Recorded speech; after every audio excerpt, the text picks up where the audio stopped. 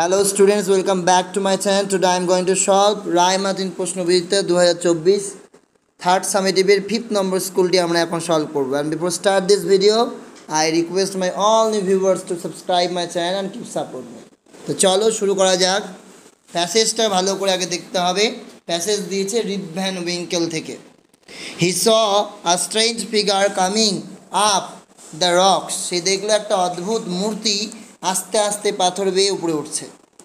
He carried something heavy on his back সে তার পিঠে করে ভারী কিছু একটা বইতিছে কামিং ক্লোজার কাছে যখন আসলো হি স সে দেখল a short old man with thick bushy thick bushy hair and beard তাহলে যখন কাছে আসলো, তখন রিপ দেখল যে ঘন ঝোপের মতো চুল আর দাড়িওয়ালা একটা বেটে বুড়ো মানুষ। His made a sign for Rip to assist him with the load সে আকার ইঙ্গিতে রিপকে বোঝালো, বোঝাটা বইতে তাকে কি করতে? সাহায্য করতে। এই অ্যাসিস্ট মানে সাহায্য করা। অলওয়েজ হেল্পফুল সর্বদা সাহায্যকারী রিপ ডিড শো রিপ তাই করল। দে কেম টু আ রাউন্ড হলো, তারা এসে একটা ফাঁকা জায়গায় পৌঁছালো সারাউন্ডেড বাই ট্রিস বা তারা একটা গাছ দিয়ে ঘেরা একটা ছোট গোল উপত্যকা এসে পৌঁছালো, উপত্যকা হলো। On a level spot in the centre he saw most unusual crowd of people playing at nine pins আর মাঝখানে একটা সমতল জায়গায় সে অত্যন্ত অস্বাভাবিক লোকজনের একটা জমায়েতকে নাইন পিন্স খেলতে দেখল। দে লুক পেকুলিয়ার তাদের অদ্ভুত দেখাচ্ছিল। One had a large head একজনের তো বড় মাথা ব্রড ফেস চওড়া মুখ অ্যান্ড স্মল পিগিজ আইস আর সুরের মতো খুঁতখুঁতে তার চোখ, যাকে সুর মার্কা বলতে পারি। The face of another seem to consist entirely nose আর আরেকজনের মুখটা কি পুরোপুরিভাবেই নাক দিয়ে তৈরি মনে হচ্ছে। দে অল হ্যাড বিয়ার্স তাদের প্রত্যেকের দাড়ি ছিল ভেরিয়াস সেভ অ্যান্ড কালার বিভিন্ন আকারের এবং বিভিন্ন রঙের। They were enjoying themselves yet were silent তারা একে অপরে কী করছিল? আনন্দ করছিল, কিন্তু নীরবে করছিল। They looked at Rip fix statue like that তারা রিপের দিকে ওরা তাকালো। ঠিক স্থির মূর্তির মতো। স্থির যেমন মূর্তি তাকিয়ে থাকে এক দৃষ্টিতে, তার দিকে তাকিয়ে রইল। এবার প্রশ্ন হচ্ছে তোমায় খুঁজে খুঁজে লিখতে হবে। কোন লাইনগুলো হবে? একটু বুঝে নেবে, দাগিয়ে নেবে। Rip along with the strange man came to the place. Rip সঙ্গে সেই অদ্ভুত মানুষটি এসেছিল সেই জায়গায়। দ্যাট ওয়াজ যেই জায়গাটা কী ছিল? আর রাউন্ড হলো একটা, কী ছিল? গোল একটা উপত্যকা। সারাউন্ডেড বাই ট্রিস যেটা ঘেরা ছিল কি দিয়ে?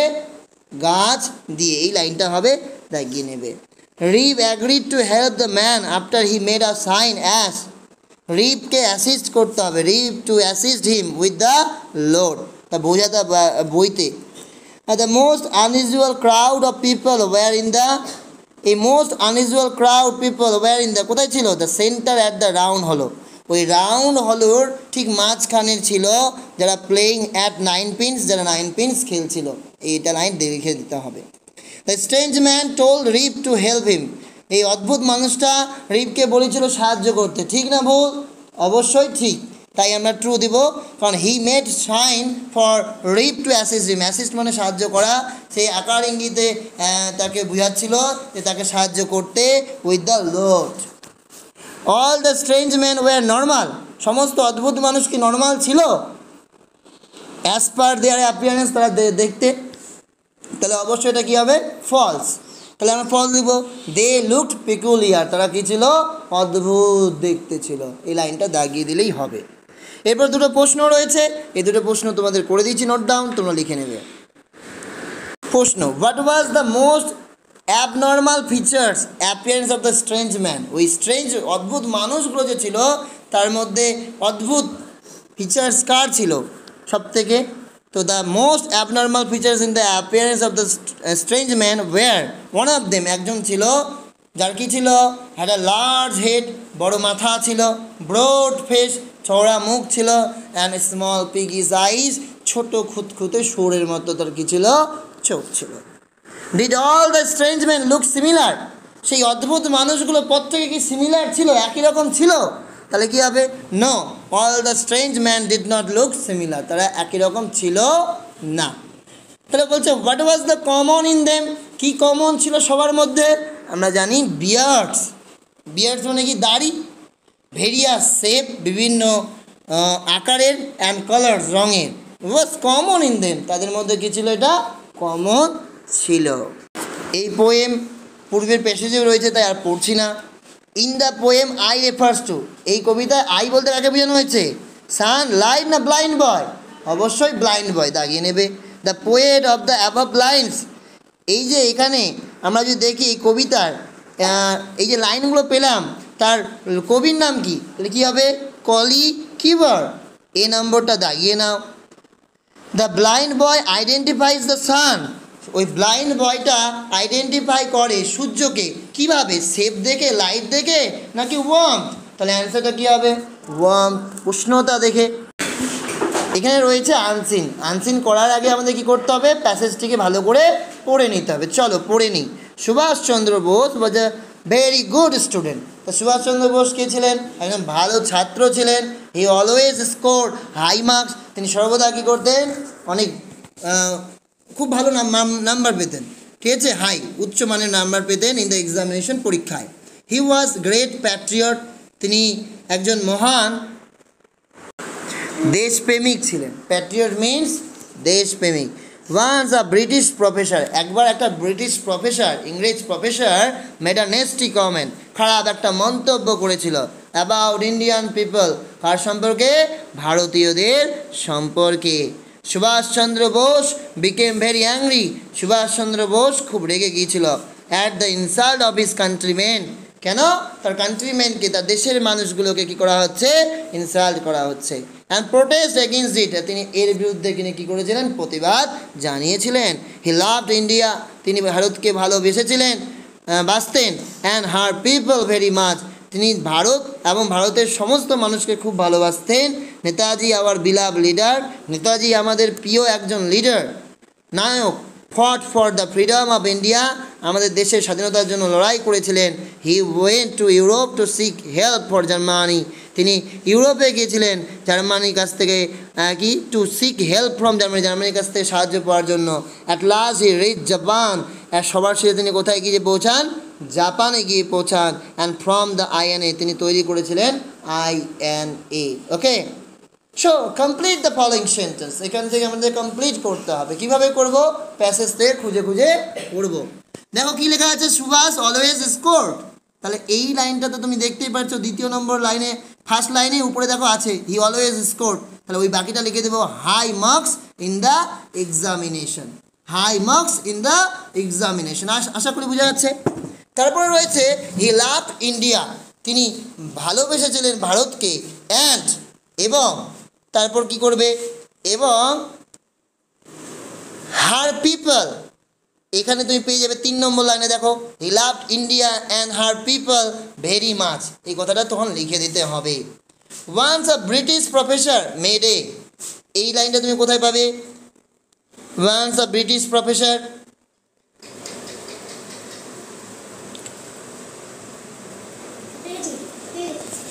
আমরা দেখতেই পাচ্ছ যে দ্বিতীয় নম্বর লাইনে আছে once the British professor made a nasty comment about the Indian people তাহলে ওখানে তবে ওটা লাইন দাগিয়ে রাখো। সুভাষ ওয়াজ এ ফার্স্ট লাইনটাই প্রথমেই আছে was a very good student দাগিয়ে নাও। হি ওয়েন টু ইউরোপ ইউরোপে তিনি কেন গিয়েছিলেন?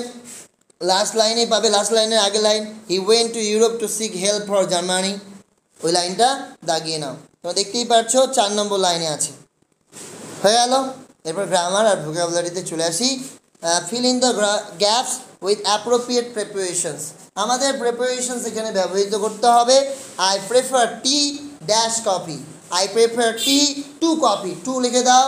To T O to he is absent say absent ছিল dash school from school F R O M from from মানে থেকে from school rice is grown rice is grown rice মানে কি? ধান। এই ধান হয় all over India all over India সারা ভারত জুড়ে।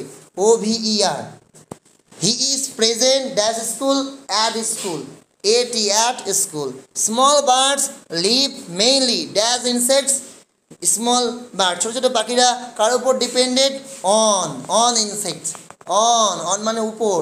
কার উপর? কীট পতঙ্গের উপর পোকাদের উপর। বুঝা গেল? ইনসেক্টস অন লিখেছ? এরপরে বলছে আর্টিকেলস কি বলছে? আর্টিকেলস তাহলে আর্টিকেলস ব্যবহার করতে হবে।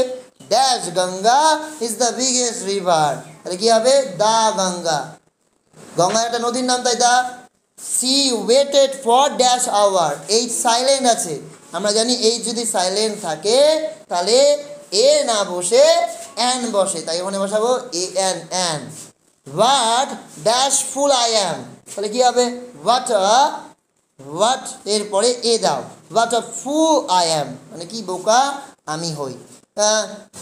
হি ই সরি তারপরে আছে last Sunday I saw dash cricket match a cricket match একটা ক্রিকেট ম্যাচ দেখেছিলাম।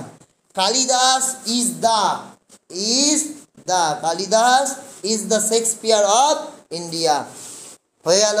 Identify the types of sentence given below এখানে আইডেন্টিফাই করতে হবে এটা কি- ধরনের sentence do not make a noise do not make a noise কি করবে না? নয়েস চিৎকার, চেঁচামেচি করবে না। Do not make us noise এটা কোন সেন্টেন্স হবে? ইম্প্যারেটিভ কি হবে? ইম্প্যারেটিভ আই এম ইম পিই পে আর এ রে T I V E imperative sentence এটা কোন সেন্টেন্স ইম্পারেটিভ পরের question will you go to school তুমি কি স্কুলে যাবে? এখানে আমরা দেখতে পাচ্ছি কোশ্চিন এই জন্য interrogative I N T E double R O interrogative G A T I V E interrogative তাহলে বলছে মে গড ব্লেস ইউ তাহলে আমরা জানি যে যখন ইচ্ছা বা প্রার্থনা বোঝায়, তখন কোন সেন্টেন্স হয়? অপটেটিভ তাহলে লিখে দাও O P of T A টে T I V E optative what a snake বলছে কি বড় একটা সাপ হোয়াট আ স্নেক তাহলে এটা আমরা এক্সক্লেমেশন মার্ক দিতে পারছি, তাই exclamatory sentence E X C L A exclamatory M A T O R Y exclamatory sentence we go to school আমরা স্কুলে যাই, এটা আমরা দেখতেই পাচ্ছি কি করছে, বর্ণনা করছে এই জন্য এটা assertive your my favourite season ওই জায়গায় লিখতে হবে, আমার প্রিয় ঋতু the end of winter marks the beginning of my favorite season, spring. Spring is the most pleasant season as the morning and noon are shooting, while the evening and night feels comfortable. The sky is clear and the breeze seems refreshing. Every object of nature appears beautiful. Flowers bloom, new leaves come out, voice of cuckoo fills the air, and the earth is covered with greenery. The freshness of the season is magical.